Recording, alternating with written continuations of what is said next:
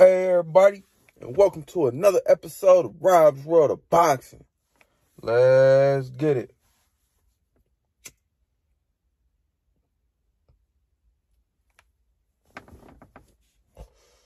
Alright. I want to get into this uh, fight night recap video. The fight between Arthur Beterbiev and Joe Smith Jr. Um, it was on ESPN, ESPN Plus. It was a top rank event in New York City at 10 p.m. Eastern Time. 10 p.m. Eastern Time. Um, I'm gonna jump into an undercard with into the undercard first. The first undercard fight I want to get into was a six round contest at 160 pounds. 160 pounds is middleweight. Didn't know. All right, it was between Troy Isley and um, Dante Stubbs. Troy Isley was 6 and 0 with 4 KOs. Dante Stubbs was 6 and 5 with 2 KOs. Well, actually, Troy Isley was 5 and 0 with 2 KOs. All right. Um, Isley, he uh, he clearly outmatched his opponent. That's what I seen from the start of the, you know, from the opening bell.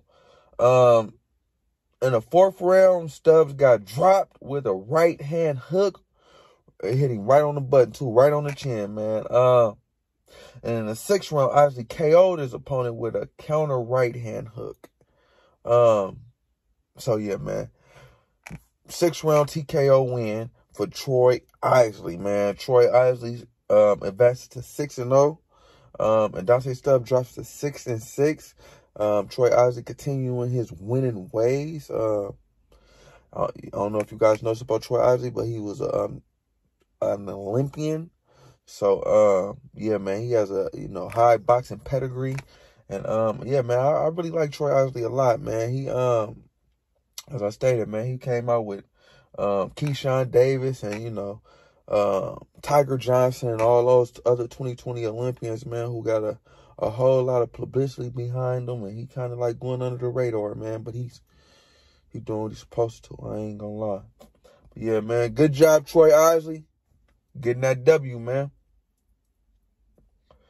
All right, let's get into the next fight I seen. Uh, and um, and some of these fights I did not talk about in my preview video. I didn't, man, I didn't even know that was gonna be on the card. But it was a pleasant surprise, just like this. Uh, this Troy Isley fight, uh, and there's a few other fights I didn't know that was gonna be on, but they were on, so I was pleasantly surprised. Yeah, let's jump it back into the undercard. All right. The next fight I seen was a 100. It was at 118 pounds. It was that 118 pounds is bantamweight. If you did know, it was a six round contest between Daniel. Yeah, some dude. Yeah, you see that name. Slapping on the screen. Um, he was 4 and 0 with two KOs. And um, Floyd Diaz. Floyd Diaz was 4 and 0 with one KO. All right. Um, Floyd Diaz, he um, I watched the fight, man. Um, Floyd Diaz, he scored a unanimous decision win versus uh the the Daniel guy. But yeah, man, Floyd Diaz, he looked good in there, man. He a good looking boxer. I just feel like I need to see more of him, man. I haven't seen, you know, this is my first time seeing him last night. But what I did see, I I liked what I saw. You know, he's um, like I said, he's a he's a good boxer, man. He has good movement. He, he he's a good good athlete in there. Uh, yeah, man, I, I like him. His his grandfather had actually just passed away before the fight last night, man. So he had to, uh, you know, deal with that, you know, during the fight. Like, like I said, he had passed away like right before the fight. He was supposed to be at the fight, but he, you know, my condolences. Yeah, man. Nonetheless, I like Floyd Diaz. Keep up the good work, man. All right, the next fight I want to talk about was a six round contest at junior welterweight. Junior welterweight is 140 pounds. If you didn't know, it was between Jahi Tucker and DeAndre Smith. Jahi Tucker was eight, uh, seven and zero oh with four KOs, and DeAndre Smith was um 11 and one. All right, um, this was a um, yeah, Jahi Tucker was you know overmatched for his opponent, if you ask me, man. Um, well, he, you know, it's only his seventh fight, but he showed, um, DeAndre Smith was not on the same level as him, man. He scored a fourth, Jahi Tucker being scored a fourth round TKO win, um, versus De DeAndre Smith, man. Um, hitting with everything but the kitchen sink, pouring on, causing the ref to stop the fight. And, um, yeah, man, Tucker looked Tucker Tucker nice. We know Tucker nice, but he can't, you know, be a, too erect in the ring. Uh, pause, you know, just standing up straight. And um, yeah, man, he he, he got a habit of showboating in there, but he, you know, he calmed that down last fight, and um, he you know he had his defense tighter. He wasn't. He was. I seen he was trying to, you know, keep his guard up, man, because he would get he will get caught with some shit you know, in his last few fights, you know. But uh he did a good job of not getting lured lured into a fight, you know, and um boxing smart, stand behind his jab and getting the win, man. Good job, Jahi Tucker, man. Um sky's the limit for Jahi Tucker. But all right, let's get into the next fight I want to talk about. It was a six round contest at featherweight. Featherweight is 126 pounds. If you didn't know, it was between Bruce Shu Carrington and Adrian Le- Levea. All right, Bruce Carrington was 3 and 0 with two KOs. Uh, Adrian Levea was um 3 and 2, one draw, one KO. All right, uh, yeah, man. Uh, Bruce Carrington, man, he the truth, man. I ain't gonna lie, man. He made easy work of his opponent. Um, scored a fifth round TKO versus Adrian Levea, man. Um, Levea got cut and I think what was that, the fourth round or yeah, the fourth round, and he was taking a lot of punishment, wasn't throwing back. Um, it was a female referee in this fight, if I'm not mistaken, um, Sparkle Lee, and um, she, she, I guess she has seen enough, you know, with the cut, like, and on top of not throwing back, and like, yeah, the fight's over, bro. You, I seen enough. Um you know, giving um as I said, giving Bruce Shu Carrington a fifth round TKO win. Bruce Shu Carrington, man, he's nice in there. Uh, I ain't gonna lie, he's calculated. He remind me of a young um uh, Terrence Crawford. Uh, you know, not to put too much pressure on him, but when I see him in the ring, that's who I see. You know, I don't know. Maybe I'm wrong, maybe I'm right. You know, only the future will tell. But he's truth, man. He's putting for Brooklyn. Uh, is he from Brooklyn? I know he's from New York, but he putting on for New York. But right, uh, good job, Bruce Shu Shu Carrington. Let's get to the next fight on the card. Uh, it was a featherweight contest. Featherweight is 126 pounds, as I just stated. Um, it was a 10 round contest. This fight it was between Abraham Supernova and Robeisy Ramirez. Abraham Nova was 21 and 0 with 15 KOs. Robeisy Ramirez was 9 and 1 with 5 KOs. Robeisy Ramirez is a two-time gold medalist. In my preview video, I said he was a he won one gold medal against Shakur Stevenson, but no, that boy is a two-time, two-time gold medalist. So yeah, you gotta put some respect on that, man. Um, Abraham Supernova, man, he uh he's a marketing genius with his mascot. And you know, I was man, I yeah, I love that shit. Let's jump into the fight though. All right, round one. It was a close round. I like the work that Abraham Abraham Nova was doing though. So I gave that round to Nova. I really felt like this fight was gonna be a real good fight, man. So I was scoring it round by round. You know, um, round two. Um, Ramirez turned the round into a slugfest, which Nova do did not want. You don't want to box this guy. I mean, you know, slugging in there with this guy. You want to box this guy. So I gave that round to Ramirez just for, you know, imposing his will. All right, round three. Ramirez rocked Nova with a uh with a couple hard punches, man. So I gave that round to Ramirez as well. Round four, Nova getting caught still. Ramirez timing was on display. Um, so I gave that round to Ramirez. Um, Ramirez started, you know, basically pulling away at, at this time in the fight. Round five, uh, Nova got caught with a, uh, got KO'd actually with a nasty left hand straight, a nasty left hand straight that um, Ramirez set up, um, blinded him with the right hand, jab, and he never seen it coming. It was about all she wrote, man. He was sleeping in front of all those people. Night, night.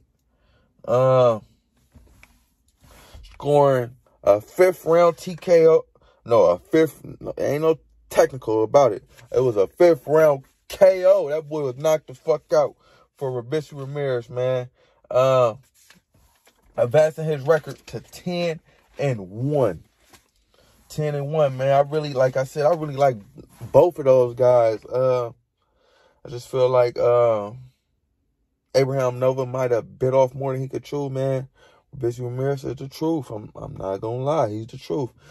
I think he's setting up a, um, you know, he keep on winning. He to set up an epic showdown slash rematch between him and Shakur Stevenson. Shakur said he already won him. He already won him.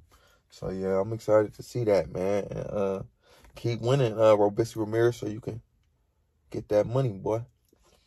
All right. Uh, let's get into the main event. The reason why we all was there last night, well, all we, you know, all, all y'all was there because I wasn't there. Actually, New York. The reason why I watched, you know, and um, yeah, man, let's hop into it. It was in New York City at Madison Square Garden. It was for the WBC, IBF, and WBO uh, championships of the world at 175, 175 pounds is light heavyweight. If you didn't know, all right. Um, this was a 12 round contest, a 12 round contest between Joe Smith Jr. and Arthur Beterbiev. Joe Smith Jr. was 28 3 with 22 KOs.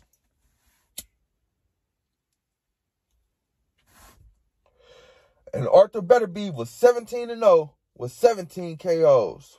Arthur Beterbiev is 37 years old, man. Um, so he's kind of up there in age. You could never tell.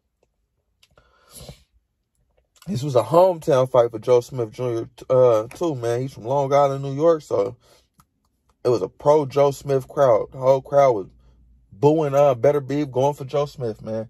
But all right, let's hop into the fight. Round one. Beterbiev dropped Smith with a uh with a check hook. At the end of the round, it was a flash knockdown, though. Smith didn't look hurt at all, man. He looked just disappointed in himself. You know, he was doing good in a in the round, using a jab, using a jab, and um, you know, stand on the outside. But he got caught, you know, at the end of the round, man. All right, round two. Smith um dropped uh Smith got dropped again. Twice. Uh then just completely stopped, man. He just got stopped, man. He was taking a beating all around. The ref had seen enough, man. He, he got hit with I forget what he got hit with, but his leg was gone. He was stammering and shit. The ref was like, oh man, I see the left, man. It's over. Man, it's over before it started, man. Second round KO win for Arthur Beterbiev. Uh some of the fights that you think is your gonna be your hardest fights, you know, be your easiest fights. Uh that's just in boxing. Man. I done seen that happen a lot of times, and this was one of those cases, man. I'm pretty sure Beterbiev went in there thinking that he was gonna be in for a war, but he, he disposed of Joe Smith Jr. fairly quickly, man. Um, it, I was thinking myself like it really wasn't no need to score this fight round by round. Should just watch this bitch, man. But fucking two score, two round scorecard. Uh, yeah, man. But better, nonetheless, man. Beterbiev, man. He uh that nigga got some heavy hands, man. He got thudding punches. You could tell when he was hitting Joe Smith, Joe Smith Jr., man. He was like, God damn, this nigga hit hard. Can I withstand this for 12 rounds? You could tell, man. And uh, I don't think he wanted that smoke, man. I don't think he wanted that smoke. But um nonetheless, man, second round KO win for Arthur Beterbiev, man. Uh, you know, unifying I mean, yeah, well, unifying the belts I mean, now he, he now has had three belts at uh, 175, and he advanced his records to his record to 18 and 0 with 18 KOs, knocking out everybody who has stepped in the ring with him, man. He ain't showing no mercy to nobody. He's a fucking monster. He's a Terminator. Uh, now, uh, I want to see Arthur Beterbiev and uh, Dimitri Bivol, man. That's the only fight left the undisputed fight for 100, you know, 175 pounds. who's the man? Who's the face of the division? That's what I want to see, man. That's going to be a fucking, man, a showdown. Beterbiev hitting hard as hell. Before moving and still, you know, doing what he do. He's technical as hell in there. And, man, that's to be a, a good-ass fight. I can't wait. But, um, we still got Zurdo Ramirez in the mix, too. Don't forget about him. But, yeah, man, nonetheless, man, we got some dogs at 175. And, yeah, I'm excited. Yeah, man, it was a uh, exciting night of boxing last night. I hope you checked it out. If you didn't, go back and check that shit out, man. Um, like I said, you can't play boxing. You know, um, I give nothing but respect to all the fighters that was on the card last night, man. Even if you lost, man, you know, and you just be thank God you left in good health, man. Cause like I said, you can't play boxing. But yeah, man. Like, comment, subscribe, all that shit, people. Rob's World of Boxing. Yeah.